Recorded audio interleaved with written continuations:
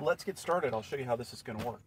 All right, I'm going to walk you through the setup that I have in my truck here. I have two Yaesu radios, FT100M and a Yaesu FT8900. Both of the bodies are under the seat, and the 8900 has the signaling cable connected to it all the time, and it comes out here uh, below the seat here. I also have in the car all the time, I got this little pouch, and in the little pouch, it's got everything to go to support connecting to WinLink. I have the signal link, and the signal link, the pinouts for this are already preset. It's all set up for this. It's set for 9600 baud, although it will down down rate and work 1200 with the uh, gateways that I might try to connect to or other stations I might connect to that don't have that setting set up. So I've got that in there. I have cables in there all the time too as well. And the USB cable to connect the signal link to my laptop. In addition to that, I have the HT cable that connects up to a Kenwood handheld, which will also connect to you know most of the other radios, the Wouxuns that I like, Anytones, uh, Quansheng, any of the other ones that use this standardized connector. So I can not only connect with my car radio uh, that's here all the time, but if I have a handheld or if I need to pick this all up on the go, I need my laptop, I need this, and I need a handheld, I've got a, a portable station that I can take pretty much anywhere I want. Other stuff in this bag, I got a programming cable for those Kenwood style handhelds, um, as well as an extra audio connector if I have to connect to a different radio, and the jumper pins, the tool to open up the signal link if I need to make some changes in the field, along with an extra cable. Behind the seat here, I have my connector and I connect it to my signal link. So now I'm plugged into the radio and I'll set the delay and the transmit and the receive, power the device on, connect my USB cable to it, to my laptop.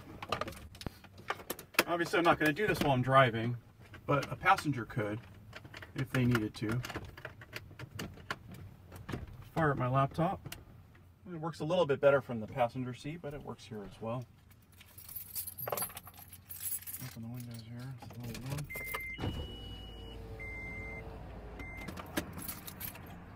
I'll fire up my radio. Find the WinLink frequencies that I have pre-programmed in here for several different of the frequencies, as well as I could um, also uh, just program it into the VFO manually, log into my laptop, launch WinLink Express, open up a VARA FM session, check my levels, I may adjust this a little bit, check to make sure that the laptop still thinks the uh, the right sound card is in use. I think it may not be. It's the right one. And then I'll go ahead and uh, start a session.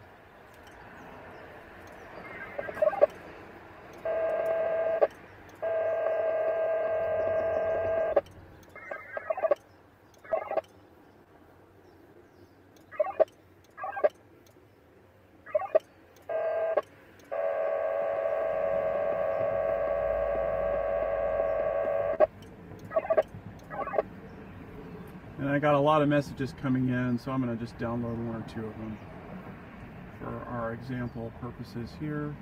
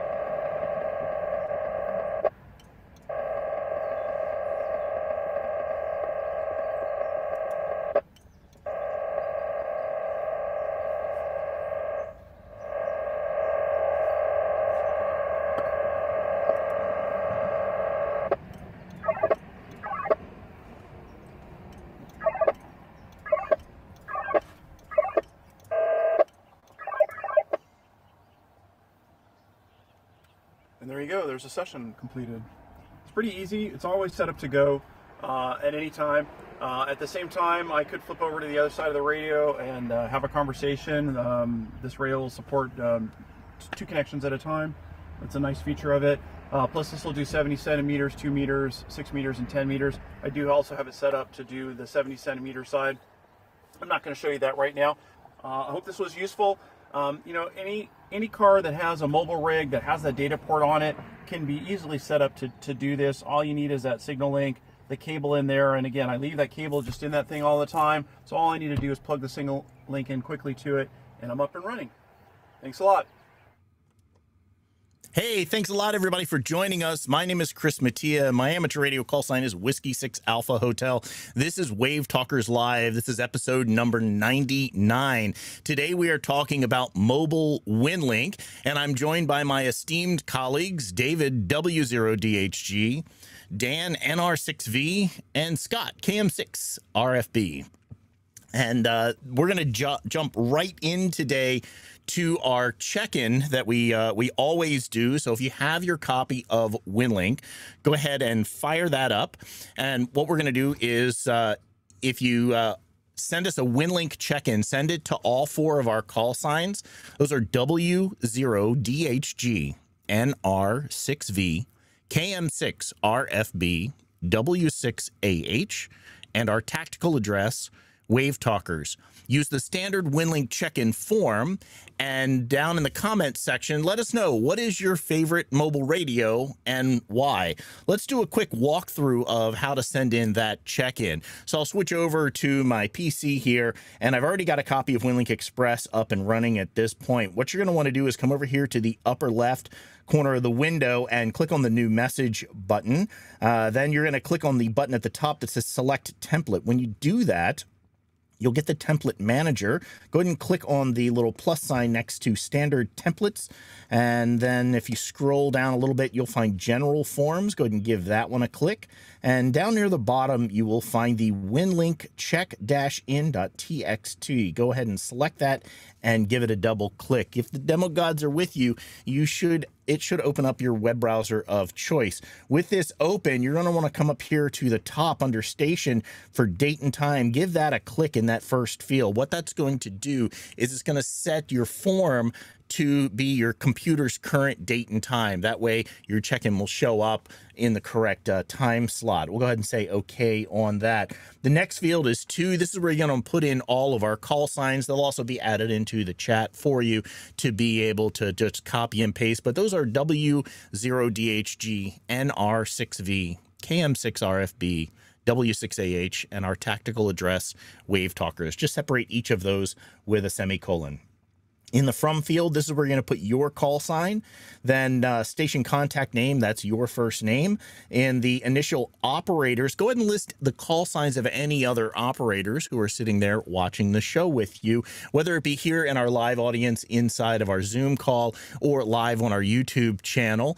Uh, thanks a lot for watching there. That would be uh, great. Here's our session type. This is going to be an exercise, so go ahead and select that. Then under service, select whether or not you're sending this in via amateur radio or via shares. For the band, let us know if you're sending it in via Telnet, uh, if you're using the internet, HF, VHF, UHF.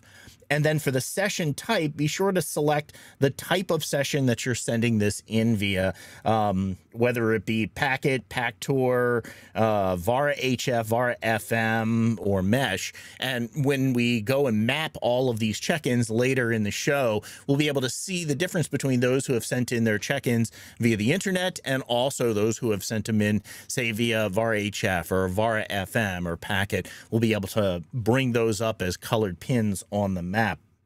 Here's the location information. This is where you want to let us know where you're checking in from. Your latitude and longitude should be automatically filled in for you by WinLink, either from the GPS that you have connected to your station, or it could come from your grid square, which you entered in when you went ahead and signed up for your WinLink account in the beginning.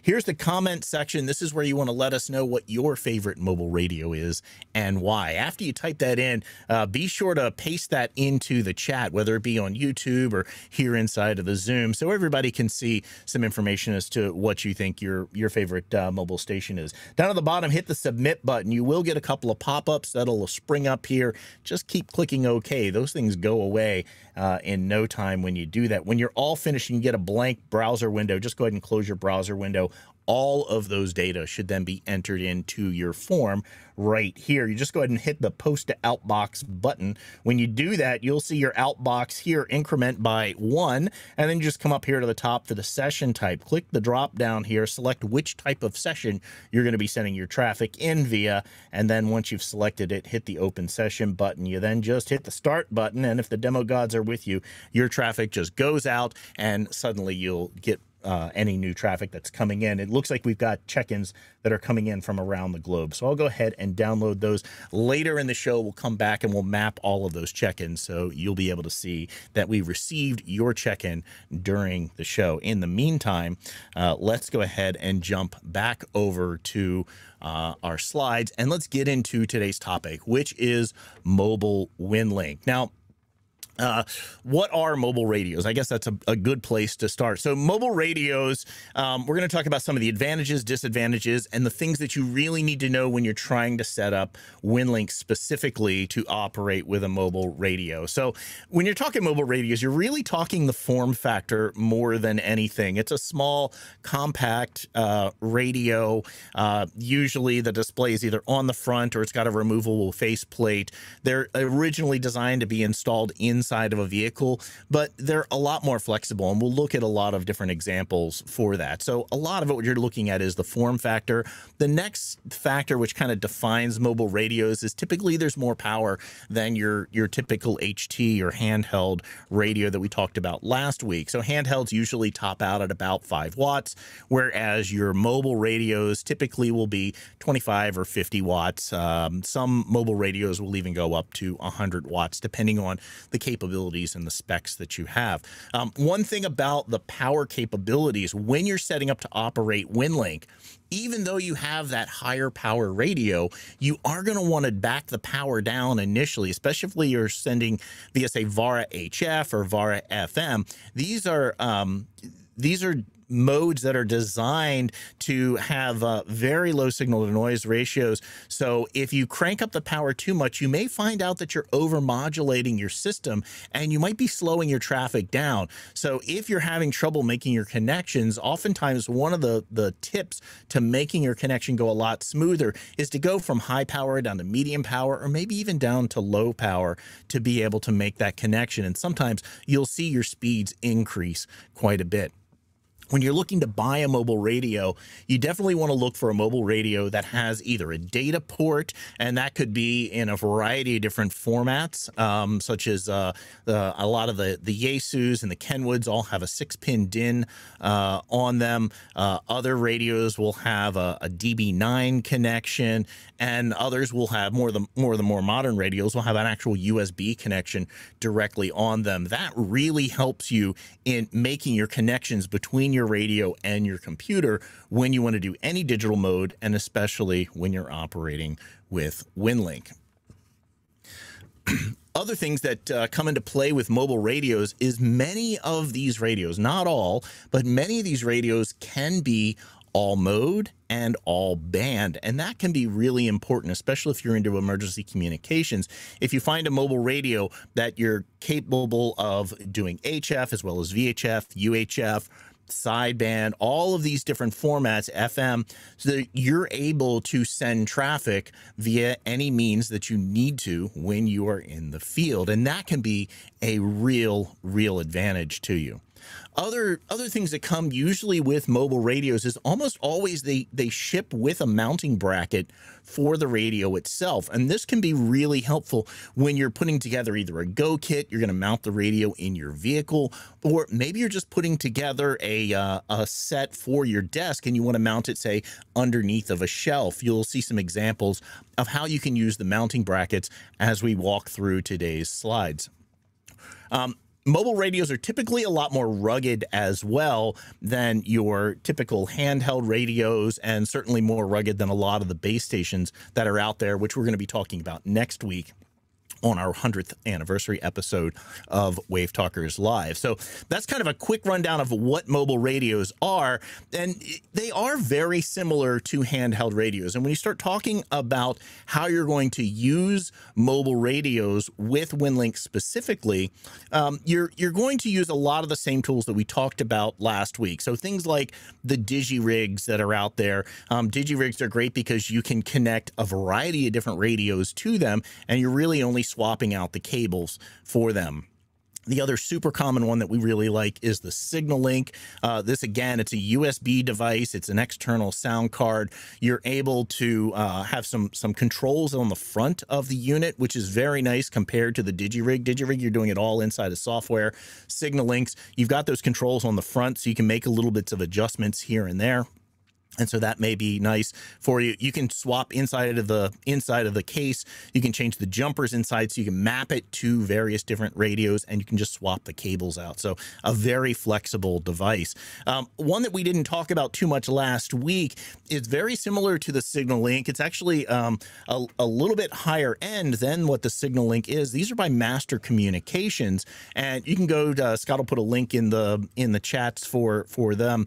Um, these are the DRA boards and these are great, great um, interfaces that connect via USB, very similar to the SignaLink with the controls on the front as well.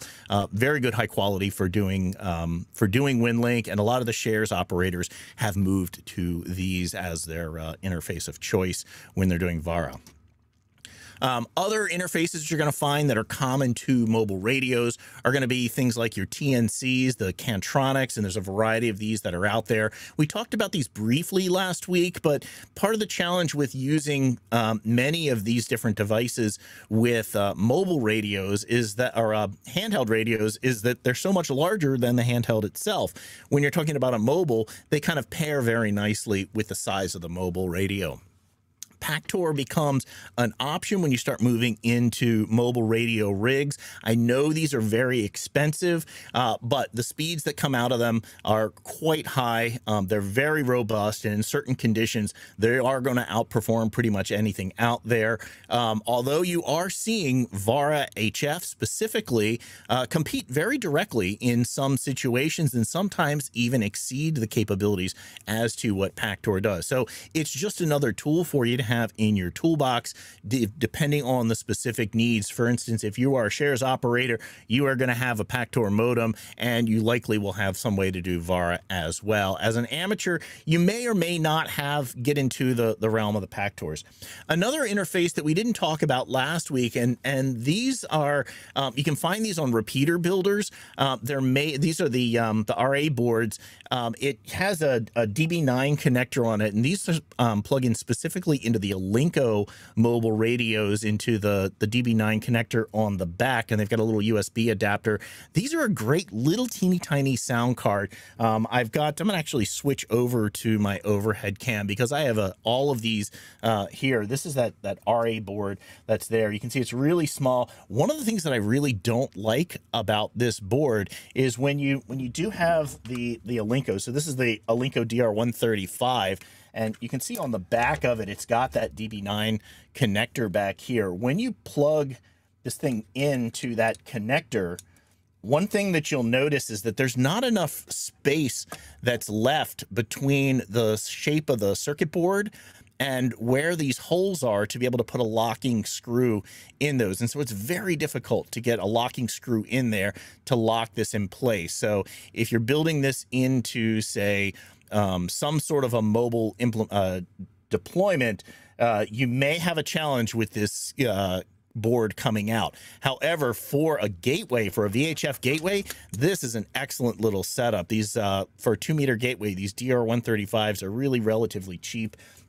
And this is pretty much one of the cheapest interface options that you can go with. The other options that I have here, I do have my Signal Link. I've got my DigiRig. You saw each of those last week. I also have my um, Pactor. This is a P4. It's the DR7400. This is the lower cost of the two uh, P4 Dragons. Now that uh, amateur radio, we're allowed to use both Pactor 3 and Pactor 4 for the higher speeds. These start to make a little more sense. If you do go with one of these, the with the lower end um, uh, Pactor modem, I really suggest getting the Bluetooth board that's inside of it. I, I went ahead and added it as an as an add-on, and I have found that I prefer connecting my Pactor modem to my Surface via Bluetooth, and then just have one cable that connects the Pactor into whichever radio that I'm operating with. It works extremely well, and it's really nice to cut down some of your cables uh, when you're doing that. This is a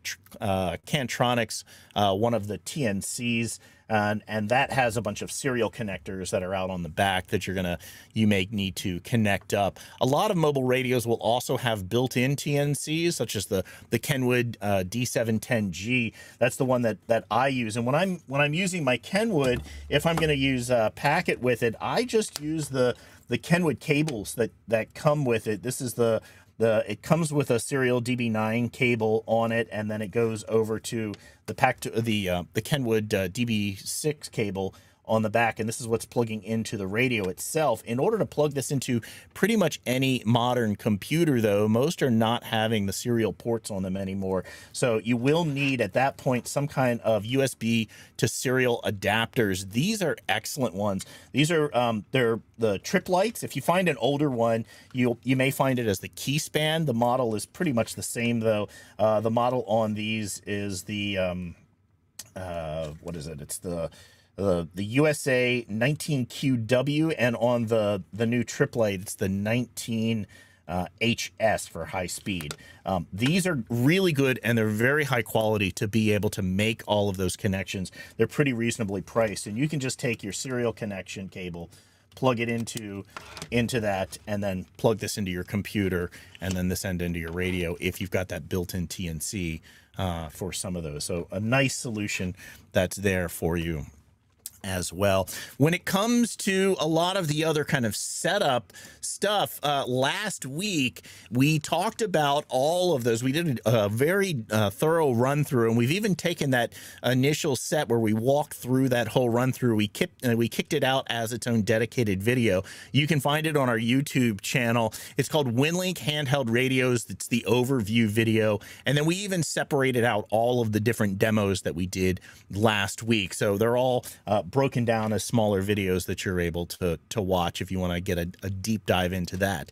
Um, but what what really changes when you start talking about mobile radios with WinLink is you you're able to open the doors to all of the different WinLink modes. Uh, depending on the radio that you have, you can open up HF, VHF, UHF, packet, Pactor, robust packet, WinLink, ARDOP, VARA HF, VARA FM. You get access to all of those. And that really, if you if you look at it globally, you're looking at approximately 500 HF um, RMS gateways that are scattered around the world, and that's roughly about a thousand VHF and UHF RMS gateways globally as well. About half of those are all located inside of the United States, and the other half are located outside. So there's pretty much a gateway that you should be able to hit most anywhere. We'll talk more about gateways later in the show, but but before we kind of go back into um, into the mobile radios, I want to draw your attention to to one other thing, and that is on the on the WinLink website itself. Um, there's a if you click on the tools section, so let me bring that up real quick. I'll go back over to the walk up. If you go to the WinLink website itself, and right up here near the top, there's a link for tools. And if you click on tools, what it does is it brings up this map of the world and it shows you where all of the different WinLink gateways are. And you're like, you're probably looking at this going, hey, Chris, that's that's not 1,500 gateways. That's because we're right now we're only looking at the Pactor gateways. Up here, it's really hard to see sometimes, but up in the top, there's a little radio button and you can come up here and you can click on, say, packet. And then this will refresh the map in just a second here if the the internet demo gods are with me. There we go. And so these are, are all of the packet. This is the VHF packet radio um, WinLink gateways. You can also see, we'll click on the VARA. This is the VARA HF gateways that are scattered around the world and uh, VARA FM. And you can kind of click around to those different ones. If you're an operator within a different system, you can also change the service code up here. And you can see, for instance, just uh, gateways that are dedicated to, say, MCOM or, or some other service code that you may know that you operate with on a regular basis. So as you're as you're clicking around, one of the things to really kind of look for I'm going to go back over here to the VARA setting and I'm going to just double click a little bit to kind of zoom in here so you can see all of these gateways. Now, many of these gateways, you'll see a little H on them. And what the H means is that's a hybrid gateway. And what's super cool about hybrid gateways is that they will oftentimes have both a VHF UHF gateway, not all of them, but many of them, but they have their their gateway is set up on HF such that any traffic that comes in if there is no internet connection it'll automatically route that traffic back out even without the internet connection. So if you can get into an HF gateway, and especially one of these ones that says H on it, then more than likely your traffic, regardless of what the state of the internet is, is going to go out and is going to get routed to where you need to be able to get it to. So that's just a really nice little aside. And by jumping up to a mobile station, you really can start to access and take advantage of many of these stations that are around the world. So as we the other piece of a mobile station is really how flexible they are to be able to deploy them in many many different ways. So this is a picture that i took during my technician class. So i'm i'm taking my technician class for at the very beginning and there they one of the instructors brought their station and they set it up here. And it was this mobile station that was set up. This is an icom 7100 you can see over here in the corner this is the uh, this is the the body of the radio is in here and the the power supply all mounted in. This is a little uh, a little case to be able to just mount those two together. And it uh, the the mounting brackets the mounting holes on the side of the mobile radios mount directly into that. I just thought this was so cool cool as a way you can take this radio kind of with you anywhere and you had all the power to be able to do whatever you whatever you wanted. It, this one has the batteries external and and so forth. But that was that was that kind of started me down this path of seeing various implementations of mobile radio installs. And then i would figure out as i as i became more experienced and i would you know get a new piece of equipment i, I got a, a kenwood d710g as a as a mobile rig. And when i would set it up at different events, I would oftentimes set it up in that kind of a format. Oh, we'll just we'll create a little stack. Here I was using WinLink. I was just using the built-in TNC that was inside of this, and I just had a simple cable coming off, and it would plug into my laptop, and I would be able to send my WinLink traffic uh, via uh, just the radio and and really nothing else um, besides you know having the antenna and power and so forth there. So later on, I, I saw this go box that was set up, and this was really nice. You can see I put some arrows here because this is a real nice, it's a small vertical Pelican case. It was very nicely designed, very well laid out. This has the, the mobile radio that's back here, and it's mounted right in the surface, but I've put the arrows in here to show here's the signal link. They have a USB port that's drawn uh, out to the outside, so you're able to plug a computer directly into that, and it attaches into the signal link. Over here, there's the data port, the data connection port that was split off from the radio, and there's a little switch so you can do voice or, or data. I just thought this was so nicely laid out as a way to get in here. There's a little antenna port. Everything is just cleanly done, very well thought out. And uh, so, uh, of course, what am I going to do? Well, I'm going to go through and I'm going to try and do my own version of that. Now, instead of building out, I didn't have the skills to be able to build out the top plate or do all of the wiring. So I got a plastic ammo can I picked it up. It was like, I don't know, 10 or 15 or $20 or so, and got some different adapters, started plugging them in. I'd seen some other examples of some of the battery boxes that had been created. And so I just figured, well, let me go through and just build this out myself. And when I built it out, I built it for my Kenwood. And this is pretty much what I've carried my Kenwood around ever since for, for many years now. Inside of the box, um, here's the body of the radio that sits in there. I keep a 30 amp hour battery uh, in there. So I can run the the Go box pretty much indefinitely. Um, it'll run for basically a couple of weeks uh, on just this one battery power. Um, if I'm just doing casual use, if I'm doing an event, it'll easily get me through a full event, uh, even two days, uh, just on this battery power. I have the the cabling for for the packet station. This is some some audio cables that are here, but I do have the the packet cabling that just comes up and it's always just tucked right in there. I have the little uh, the little the little adapter in there, so all of that is just, it fits. And this is mounted right with the edge of the bracket, right on the edge of the the case.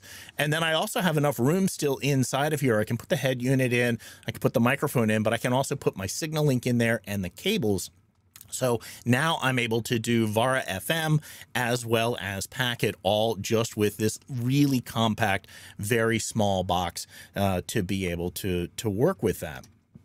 Um, and I've deployed this in many different areas. So I've I do a lot of different event support. So this is one of the marathons, and and I was running both. Uh, um, APRS as well as WinLink and using the setup for voice. And I just take my laptop, set it out, pull a couple of cables out, and it all works uh, pretty well. This is another um, marathon that I set up and operated with. And, and you can see one of the things that I've, as I've kind of grown as an operator, my gear has also kind of expanded as well. And so it kind of tends to spill out of the box a bit more.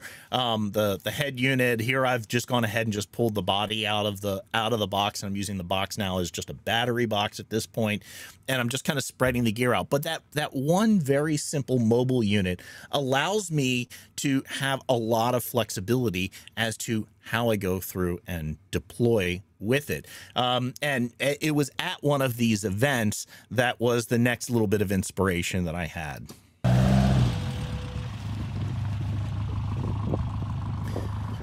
Now, this is a vehicle. This is by an operator who's now a Silent Key. He was a really good friend of mine. And I worked, it was one of the very first marathons that I worked, and I was partnered with him. Um, this is a remarkable vehicle, by the way. He took this thing uh, off road. He drove back and forth across Africa with it.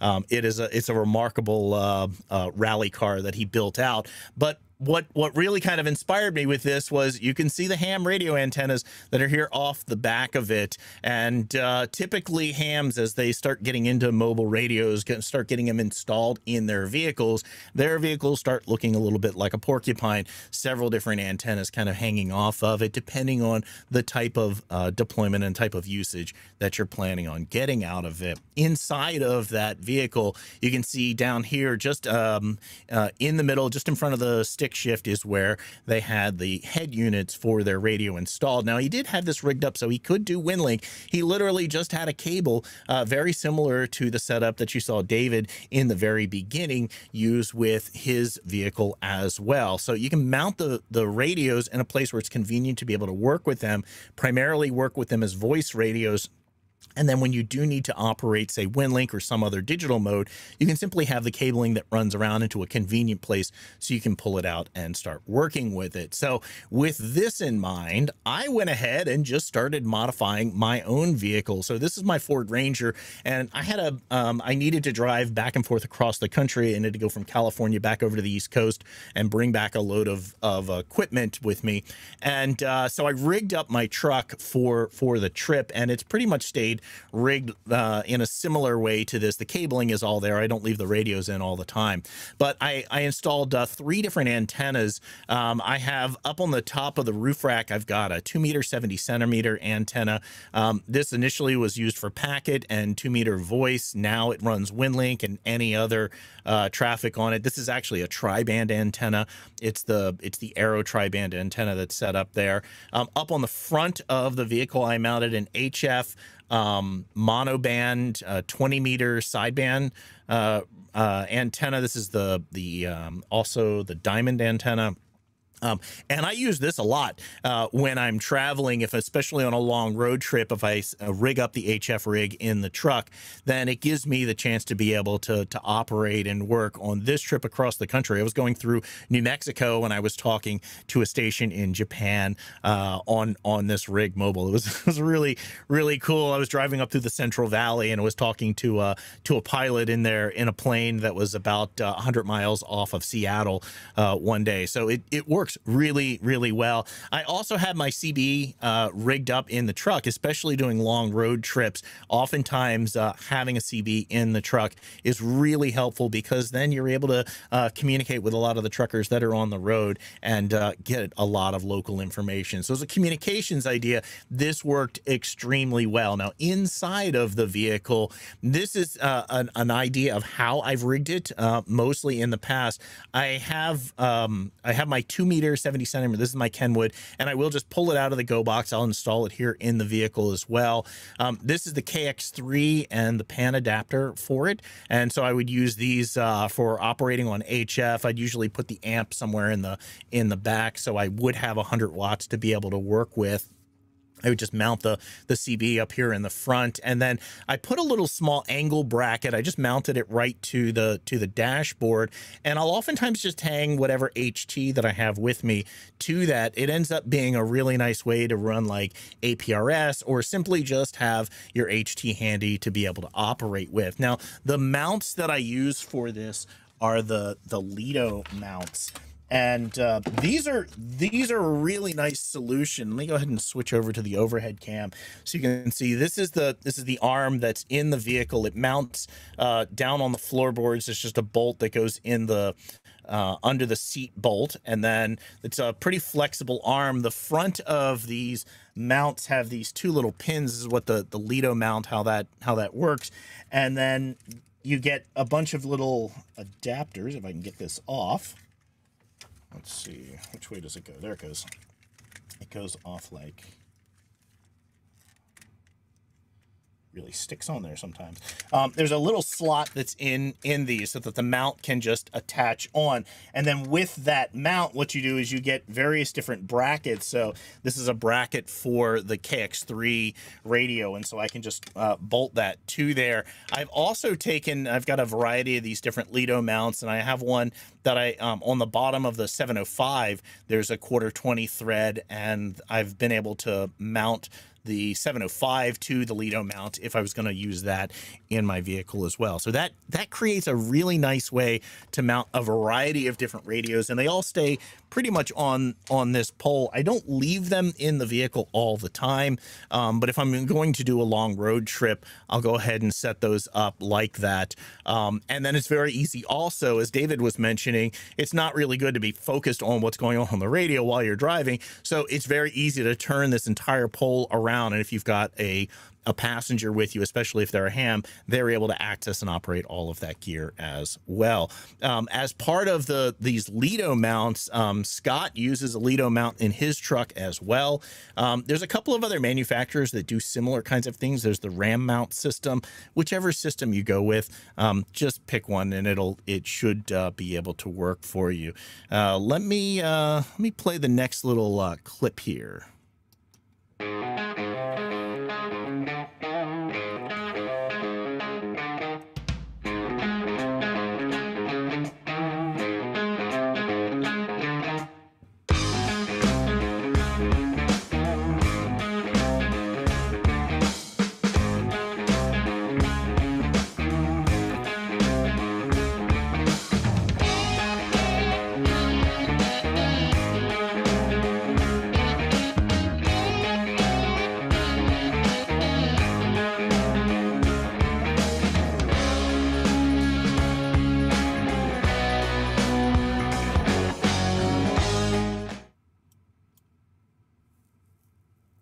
All right. I guess that's my cue to talk about my mobile WinLink project.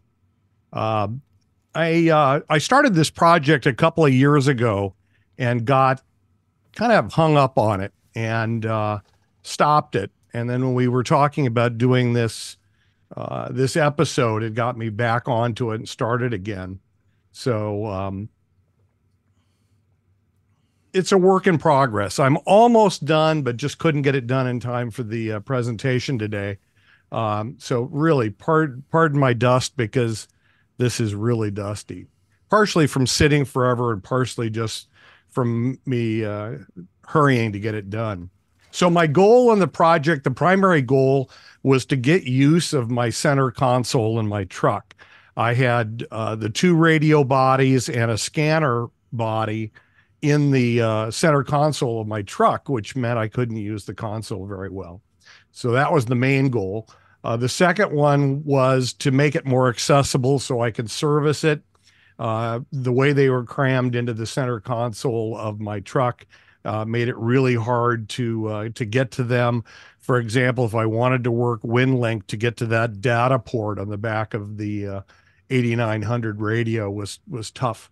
So that was my second goal, and then I wanted it to look professional. I'd seen some professional installations that encouraged me to uh, to go ahead and do something that was uh, pretty professional looking.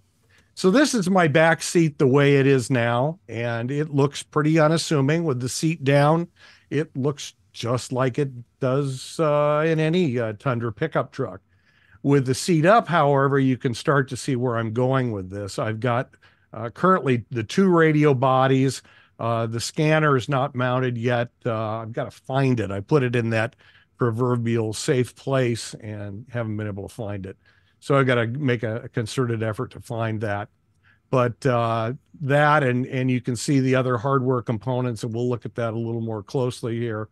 Um, one of the things that really held me up on this was how to get the data and speaker wires from the head units up front back to the uh, uh, to the radios, and uh, finally, I ended up um, taking a piece of uh, one and a half inch PVC pipe, running it through the table saw to cut it in half.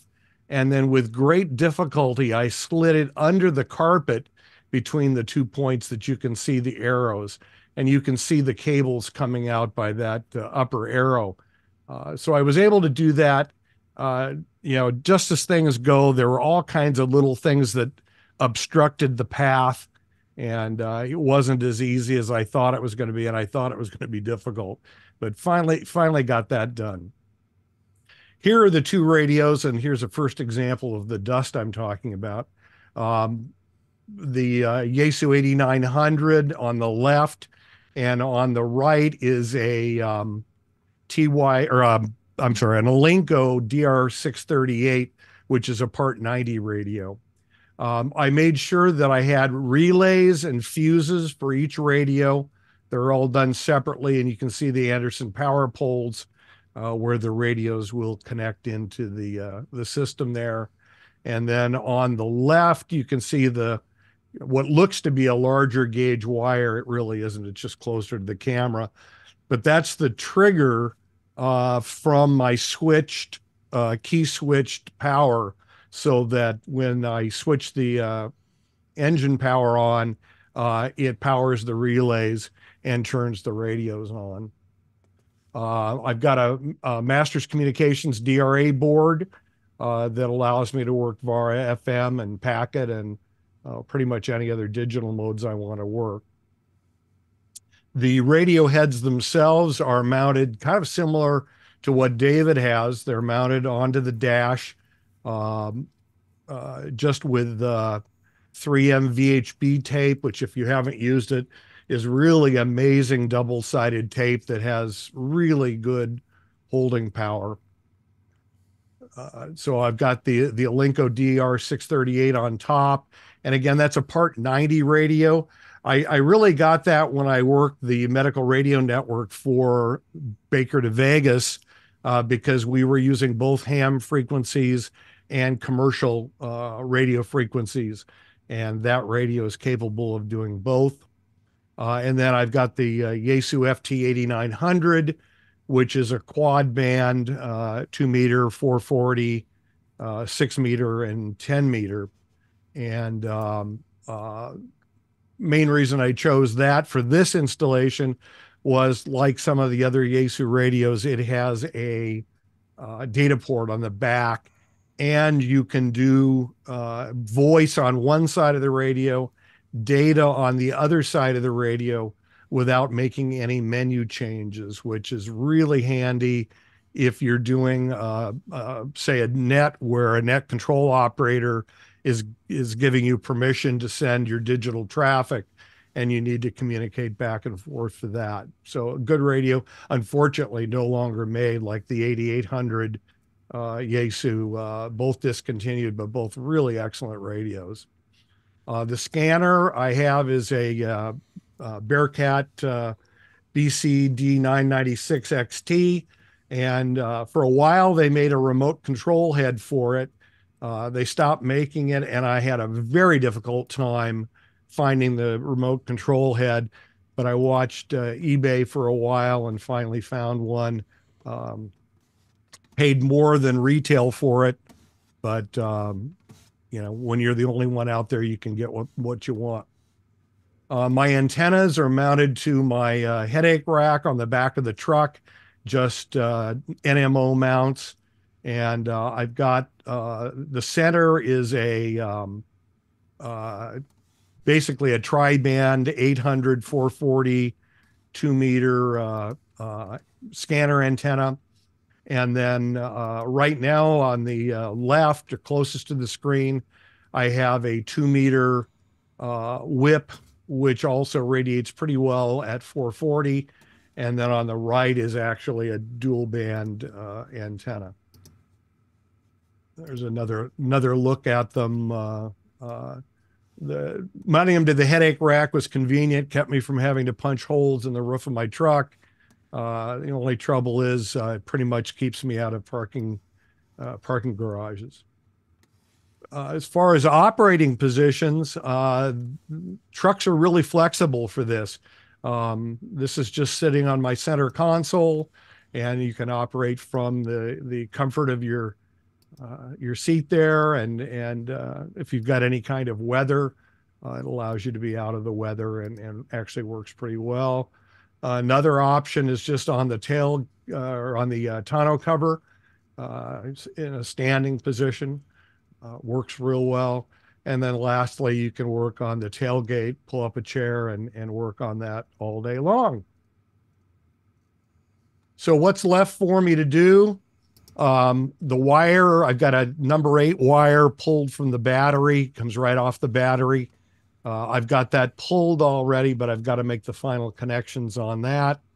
Uh, I need to dress the wires. I, I ran the antenna wires long because I had to put connectors on them and I did not want to have to do that uh, kneeling in the back of the truck.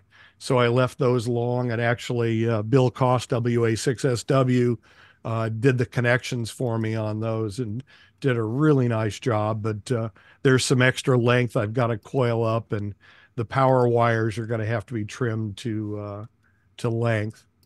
Uh, I want to redo the control head mounting uh, even though it works pretty well, I've got an idea for uh, um, 3D printing a, a shade uh, that goes over the radios to give me uh, a little less glare from uh, bright sun. Uh, I want to build a aluminum cover to go over the whole body, radio body, and fuses and all that to protect it when the seat is up. Um, I bought a something I've wanted for a long time. I bought a uh, a metal brake, a sheet metal brake to do that with, and uh, look forward to playing with that. And then lastly, probably the biggest job of all is I've got to clean it all up. So that's my mobile installation, and I'll send it back to Chris. Hey, thanks a lot, Dan. Um, Roland, who joins us from Germany, sent in a sent in a quick video uh, at walking through his mobile station that he has. His is set up for Pactor. Let me go ahead and play that for you. And uh, he's speaking in German, but I've turned on the English translation uh, captions for you. So here we go with that.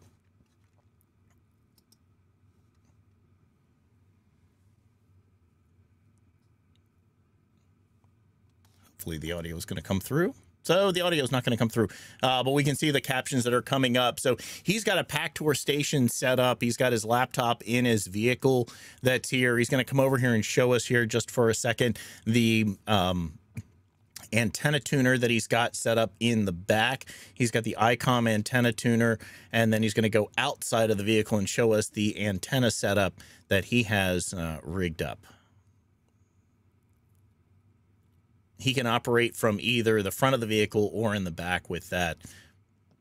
Here's his uh, here's his antenna. Notice he's got those four really long uh, counterpoise wires that is able to just drop down. He runs those out 90 degrees um, from each other and creates a, a really nice ground plane uh, for that antenna system that he's got.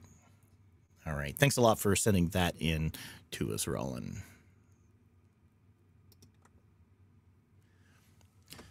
So, other ways that you're able to deploy a mobile station and things that you, uh, at least as for me, as I've been uh, walking through uh, my time as being a ham here. Um, this is the mobile station that's set up, or the WinLink station that's set up for the ham radio operator at the Ventura County EOC, and you can see that that their setup that they use, it, they have the the power supply down here at the bottom, a Kantronics. Uh, they do a lot of packet. They've got two monoband uh, packet stations that are set up here, and then up on top is where they have the their Kenwood for their voice with the two different sides on it. And they just have a laptop that comes out in the front to be able to to operate that. Um, this is what the station that's set up at the state EOC looks like. And as you you kind of look at this, there's a lot of different radios. There's a lot of things going on here. This is inside the radio room, but as you kind of look around, you start noticing all of the different interfaces. Many of these radios are all capable of doing either WinLink or some other sort of digital mode, and that entire top shelf are all mobile radios. Now, these are not mounted in any kind of crazy way. They they just stack up nice and neat to be able to operate and organize for your station for your for the operator to be able to cleanly get at whatever needs to be communicated.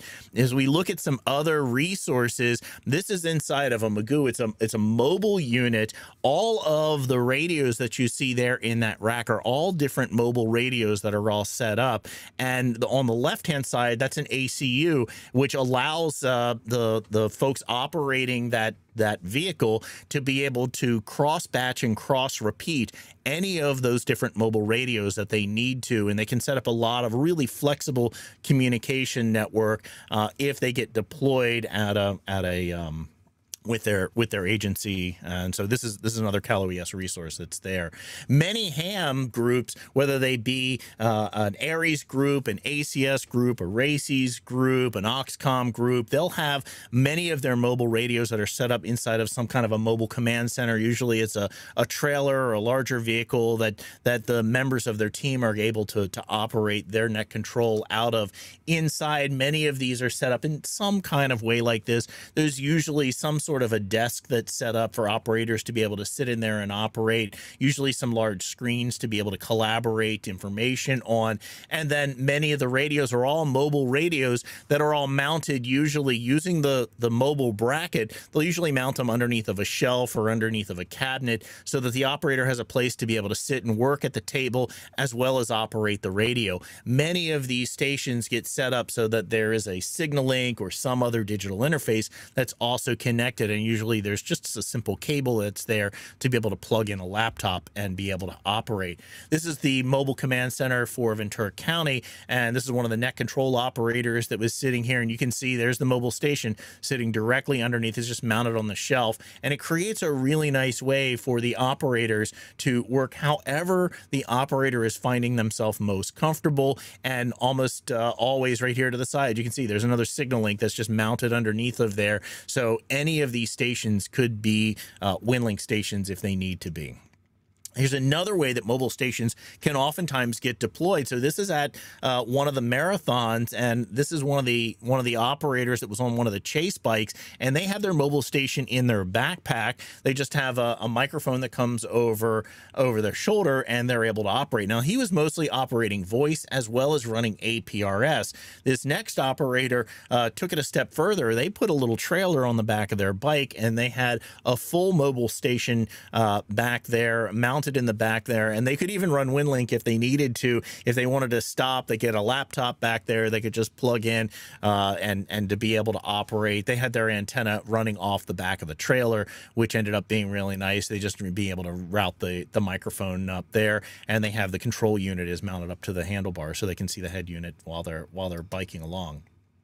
This is more of a commercial installation of a mobile unit, and this would be one that would be uh, built out to a little more durability, but the idea is still the same. Uh, you've got the radio that's in here. You have a way to be able to power the radio, the speaker that's built in, so you can hear the what's going on over the over the microphone, over the um, over the radio, and there's even a mag mount that's attached to this. Now, these did not have uh, uh any digital interfaces that you could add, but it would be very easy to be able to add add something like that to these. Another way that you'll see mobile radios commonly mounted, you'll see them mounted on a board of some kind and then have all the various different components just screwed down to the board so you can take the whole unit and just kind of easily move it around um, and, and have it so you can deploy it very quickly, set down, plug a laptop in it, and operate WinLink or whatever different digital mode that you want to operate but you're not limited to do something really fancy like that. Many operators will choose to simply use their backpack, carry the different gear with them for their mobile uh, station, just keep it in their bag and be able to set it out, deploy it as they need it, just pull the gear out that you need when you need it and not have so much of a rigid, structured uh, deployment. Uh, others will take the approach of taking that Pelican case. Pelican cases are excellent cases. Um, those are the ones that I use all the time for most of my expensive gear that I'm going to carry with me uh, to somewhere. They really do do a great job of just protecting all of your gear. This operator's chosen to basically just stack all the gear inside of the Pelican so it's well protected. But when they get there, they can just spread out the station that they need to. Here you can see they're using uh, one of the Yaesu mobile radios. They've got their SignaLink running in here. They even have a mesh node that's set up in here so they can operate however they need to with this fairly small compact case. Um, others will take the approach where they'll build out these more uh, uh, well-designed gator boxes. Here this was by uh, kk6da uh, david built out this kit and he's got his SignaLink in here. He's got a, a, modem set up so he can do his his mesh networking and so forth. He's got micro uh, speakers that are in here so he can really hear what's going on with the radio. A nice little uh, way to be able to take the cable that comes out and just plugs into the laptop. And there's a slot even for the laptop to be able to slide into this to be able to operate it's a really nicely designed well laid out uh, station to be able to operate both voice and uh, digital, uh, especially for WinLink. This one's uh, a case by uh, David W0DHG. Let me let me bring you up. You want to tell us about this, and I know you've got some other things you want to share with us. Yeah, absolutely. So um, that's a, a, box I built a while back. Um, uh, it's actually it's not a Gator box. It's a SKB, but um, same same concept. That's a full length rack ba- box. Uh, in that box right there, there's a, a Yaesu FT 897, and it's connected up digitally. There's a SignaLink in that box as well, uh, as well as a uh, the TYT 9800, which is kind of the clone of the Yaesu FT 8900. So in that box, you got all mode, you got two sides of UHF VHF. Uh, we got digital connections uh, for that. Uh, as well, it's a great box in the field. Drop it on the table, plug it in, hook up some antennas and power, and you're ready to go. You had some other boxes you were going to show us? Absolutely. I, I just got a pop up about the language I was speaking. I'm going to try to get rid of that here. Pop that out of the way. Okay, I'm going to show you some other stuff here. I'm going to switch over to the other camera. Um, I got a, uh, another box that's in progress right now that I've been working on. Um, this box you can see here, this is a Gator box. Um, and um, it's mostly done, ready to go. I've tested out a couple times. It's, it's field deployable. Again, the the concept behind this box was wanted to be able to take out in the field um, not only a voice communication box, but I wanted to take out some some heavy WinLink capability. Often, um, if and when we have a deployment for uh, areas in the Los Angeles area, I'm typically sent up to a hilltop. Uh, you saw my vehicle early on in the show. Um, I'm four wheel drive capable. I can get pretty much anywhere where the road's open or I can get to it. So having the ability to take something up there, put a WinLink gateway up, um, as well as have voice comms um, is very useful. We've got two Alinco radios in this box here. Um, two meters and 220. Um, both of them, you'll see when I flip it over, are ready to go for uh, digital modes. Um, I do have a SignaLink. The SignaLink's hooked up to this is a Yaesu uh, 8900, again, quad band. So um, 70 centimeters, 2 meters, 6 meters, 10 meters, um, as well as another Yaesu. This is um, FT 7800, uh, 2 meter, 70 centimeter radio. So I can deploy uh, three different radios here uh, with digital modes, whether it's VARA or Packet, um, as well as have some voice stuff that I can monitor at the same time and then switch back and forth either way, depending on what's useful given the deployment. Nice thing about these boxes is once you get everything mounted in here, it's ready to go. You take off the plate, you deploy it, you hook it up to power antennas. And I, I tend to keep the power antennas separate from these um, because I don't know how long I'm going to deploy. I may take a really big battery. I may take a generator. I may take a little battery if it's going to be a short amount of time. You can also see in this box mounted under here, um, there's one of these little Beelink puck PCs. It's all in here ready to go and connected. I'll flip this over for you and show you what the back looks like.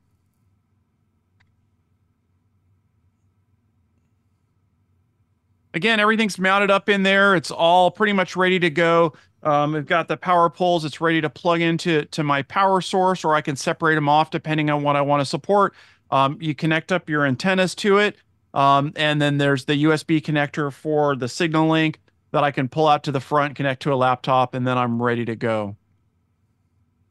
The other thing I found that's handy with these um, boxes is I get these little mesh bags and I and I mount them Velcro to the to the cover, and inside these bags I have uh, microphones, all the accessories that I need to connect these radios. So it's always with them all the time. Pop it off, and I have it. It's ready to go show you another project that we've been working on.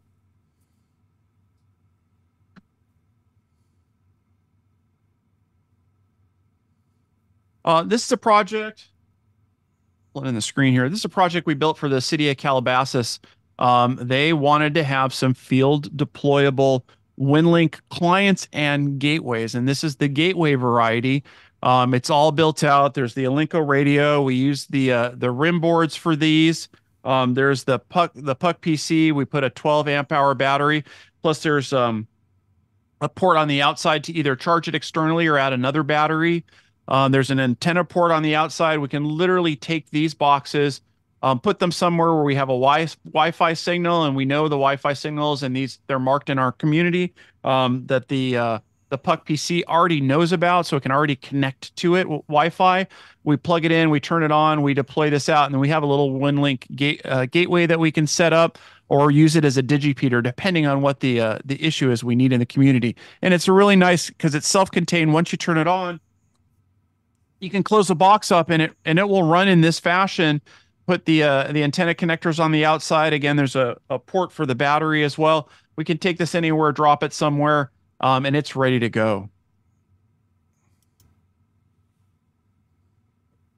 And uh, and yeah, speaking of gateways, um, we did a whole series on setting up um, WinLink mobile radios and and becoming a sysop uh, gateway operator.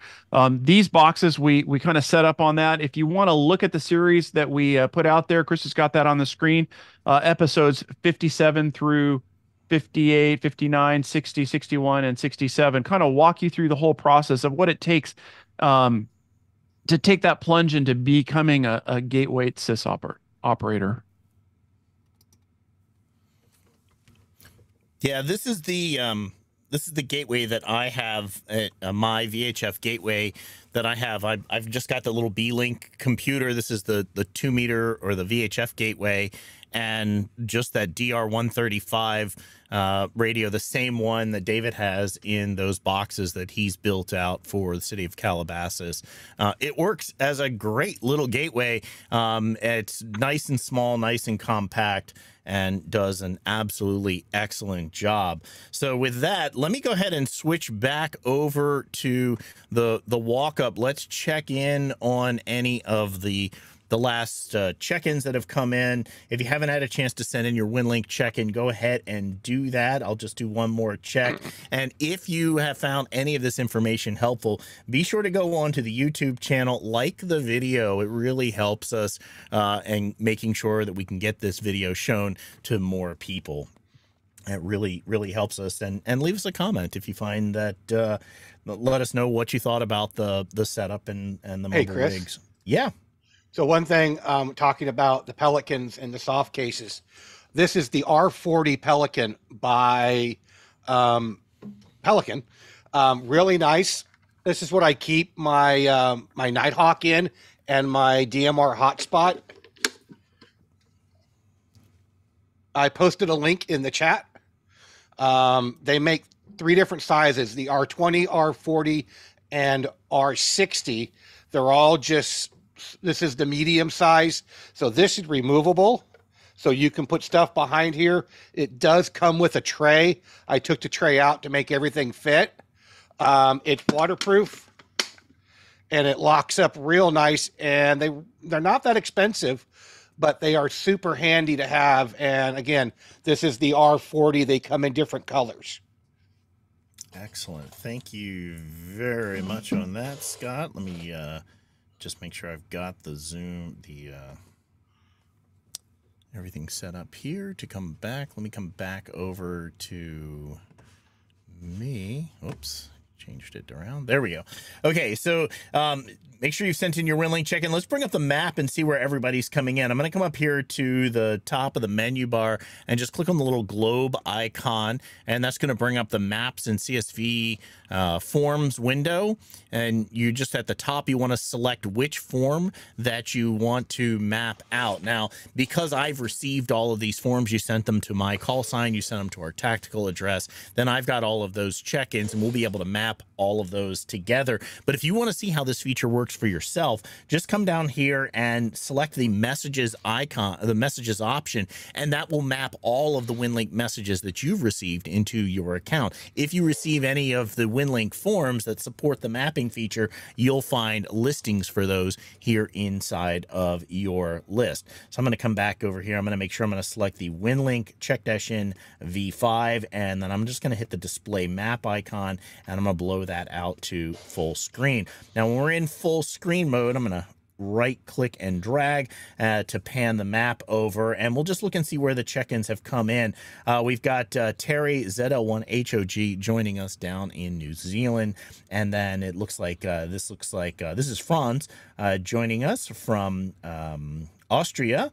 We got a couple of operators, uh, Sierra Alpha 7, Juliet Mike Foxtrot, and it looks like Sierra Mike 7, Yankee Tango November. Uh, both of those joining us from, looks like Sweden up there. And uh, you can notice that their pins are showing up in this, uh, this kind of purple color, and there's several others that are showing up like that. If I come over here to the filters, uh, currently I've got my filters set so that um, any station that's sent in via VHF or VARA FM should be showing up in purple. In a little while, I'll switch these over uh, so we can see all the stations that have checked in via HF and bring those up as as colored pins as well. Let's zoom in on North America. I'm going to go ahead and hit the zoom in button a couple of times. Click the right mouse button and drag. So click and drag with that right mouse button and that lets us zoom in over here on North America. Let me roll over these uh, RF check-ins that have come in here and uh, we'll just kind of roll over these. And i saw lloyd's check-in uh, pop up there. Congratulations on getting your um, winlink gateway set up and uh, i heard it was quite the success at the uh, at the event that you guys held this past week. Uh, very nice for that. I'm just going to roll over these other ones that have come in via the VHF. Let me go up and change the map now. I'm going to change the filter type and we'll change instead of being VHF, uh, we'll change that over to HF and we'll also change the VARA HF and change it, or VARA FM and change it to VARA HF we'll say save. And you can see those map pins just change color instantly. And uh, we can see the other stations that have sent in their traffic via some form of either HF or specifically VARA HF. We'll just roll over each of those. It's great to see all of those check-ins coming as well in via those modes. Let me uh, change the filter now. Actually, I'll just go ahead and roll over these other stations that are here. Make sure everybody's able to see their check-in that they were able to to send in. See that we did receive your check-in. It's nice to know that uh, people get their uh, their traffic sent in to us, and we are receiving it all the way through. So we'll just roll over several more of these as we kind of work our way around the country. Looks like there's King down there in central Texas. Roll over these stations. Let's move, zoom in a little bit here into the Pacific Northwest, because uh, I know we've got quite a few stations that are up in that area. Here we'll actually hit these uh, stations here in Arizona first. A couple down here, down in the southern Vegas area, southern Nevada, and in the Piedmont. Let's come all the way up to Pacific Northwest up here pick up these other stations, make sure everybody's able to see their check-ins that have come in. A couple of stations right there. There we go. And we'll come on down all the way down south one more time. Oops. Sometimes I don't drive so good with this. Zoom out a little bit. There we go. Uh, there's one there. We'll come on down to get these stations here in the Piedmont area that are right there in the Sacramento area. And we're going to come on, on down to Southern California. We've got quite a few that are showing up here as well. KJ6IJJ, great to see you there, Craig. And Logan, a great supporter here of the show. Really appreciate that. And all of you who who join us. If you find this stuff really helpful, consider going on to wavetalkers.com. Use that buy us a coffee link. It really helps us uh, keep everything up and running with the show. Uh, with that, let me bring the guys back up to screen real quick and we'll go around to kind of wrap things up for this week and uh, episode number 99 guys. That's uh, that's quite a few that we've we've done there uh, for this next week. We're going to be doing episode 100 and uh, we're going to be looking at hf stations. Uh, david any closing thoughts from you today? Uh, great walkthrough of the the stations and so forth that you got. Yeah thanks a lot chris. Um, there's a lot of options out there. There's a lot of possibilities. Um, you probably already have a radio in your vehicle. You are just so close to having a WinLink station that you're driving around with every day. It's really easy. Mostly, it's probably just adding a cable um, and a, and an interface that you might already have. Um, we we looked at a bunch of different Go boxes as well as just you know a case that you carry and you dump a bunch of radios on a table and use them wherever it is you need to do. It's it's really easy to do. Um, we didn't go into a lot about the antennas and whatever, but we'll look at that at some some future upcoming episodes as far as what to do with field portable antennas. And I know we've covered that in the past. Um, but as I would always say, you know, get your gear set up, get it out there, test it out, play with it, have fun. Thanks, David. Dan, NR6V, uh, love the work in progress that you got there on the vehicle. Uh, any closing thoughts from you this week? Thank you, sir. Well, who thought when we started out to do four WinLink basic classes, we'd be talking about number 100. But it's been really fun and uh, look forward to more. Um, as David said, you probably have everything or almost everything you need for a portable or mobile WinLink station. And, um, you know, something as simple as a plastic ammo can or a metal ammo can. If you've got a Harbor Freight near you, they put them on sale all the time. And you know, we're talking about 15 bucks or less for the case. And, you know, put a radio in there and and if you've got voice, you're only a few steps away from having digital. And uh, you could make a go box and set the go box on the passenger seat of your car and connect it up and you've now got a, a uh, mobile winlink setup so it's not hard to do. And uh, um, I love doing this stuff because it, it's it's a creative outlet for me, and and uh, um, I've I've built many Go boxes, and uh, You know, one of the things I my first Go box was similar to the one you showed, Chris, that inspired you with the nicely cut face plate, and uh, David's was the same thing. They're beautiful, but they're very limiting. Once you've got it set up, that's it. You really can't make a lot of changes to it. And over the years, I've evolved into more of a modular concept. And the ammo cans work really nicely for that because you you have one ammo can for an 800 radio one ammo can for um, you know your winlink portable gateway. And by the way a portable client station is only software different from a portable gateway. So uh, it's real easy to do. So that's my thinking these days is is more into a modular, and I have them set up on my rack behind me, and I grab what I need and don't take a lot of stuff I don't need. Hopefully, that's a really smart uh, smart statement there. When I as I've been building out my different kits, I started off on the various different kits model and recently, I've built out a couple of Gator boxes specifically for being able to do uh, mobile video production uh, on on the road. When we did uh, some of the marathon support, I'm I'm taking digital to a whole new level, pulling video feeds and so forth, and sharing them around, and and really kind of uh, providing that situational awareness.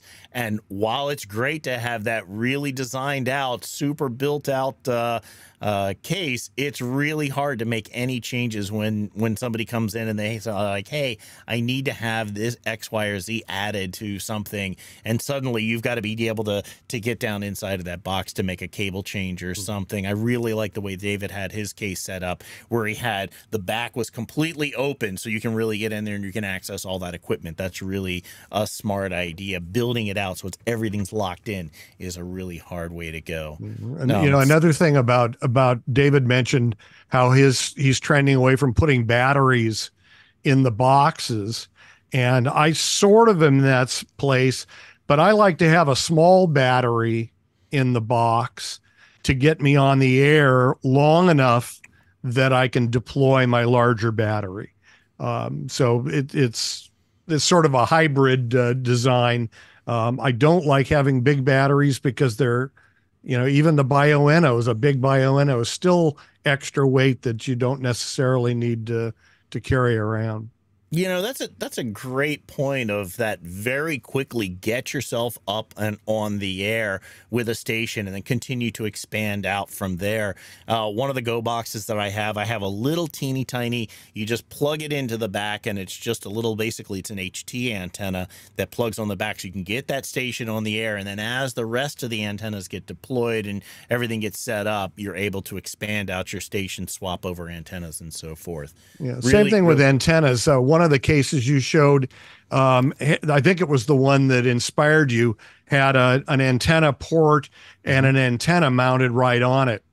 I don't know that I want to spend all day with a 50 watt radio with the antenna, you know, eight inches from my face. But to get you on the air, that's a good a good choice, and then you can deploy, you know, a, a higher gain or a, a, a better deployed antenna. Uh, but it gets you on the air um, in the event that you need to get up and run net control or whatever it is that that uh, needs to be done quickly. Yeah, what what I found a lot of times is it, we were getting into deployments in the in the bigger boxes that I've built.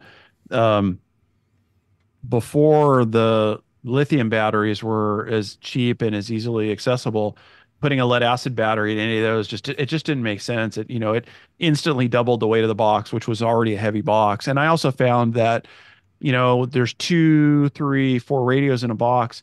It's going to take me 20 minutes to set up set up the uh, the antenna alone uh, without much problem. So I would um, I I, I kind of tended towards leaving them out and just kind of letting them go that way and and go from there. And you know, um, everybody does it a little bit different, and um, you know, you just kind of work from there. But uh, I do like the idea of having a small battery in there so it's up and ready to go quickly. And what I find most of the time is I just end up like having two HTs that I put on the counter on the on the table while I'm getting set up, so I could hear anybody calling net control. And typically for um, for drills or exercises or events that we support, we're there far far in advance before I need to really have it up in air uh, and going. And um, the couple of like real life events that we've what we've um, encountered, I end up, you know, basically setting up my station right next to my vehicle. And as you saw my vehicle, it's already very capable. So I just turn the volume up on those and hang the antennas, uh, the uh, microphones out the window while I'm getting set up. So if I hear anybody calling, I can hop over, make respond to that, and then and then go from there. Yeah, great point. Great point on that. Uh, Scott, what's been going on in the chat, uh, both here and on YouTube, and uh, any other closing comments from you? Uh, you're on mute. There we go. Yeah, no, I've been uh, we've been tracking the chat, been posting. So all the links that we posted um, in the chat on both YouTube and in the Zoom session um, go directly to the Amazon store. So make sure you click on those. Um, one thing that was really good to mention, somebody posted in the chat that once you start adding equipment to these gator boxes. David you made the same comment. They get start getting heavy real fast. And and that draws down the portability of of being able to move these things. So one thing that i've done i repurpose pelican cases ones with wheels and build them out. It makes it a lot easier to move some of this stuff. And granted new pelican cases can cost quite a bit of money. Um, but once you find you can find them used for fairly good prices. Mm-hmm. Uh, surplus markets, things like that. You can find pelicans fairly inexpensive.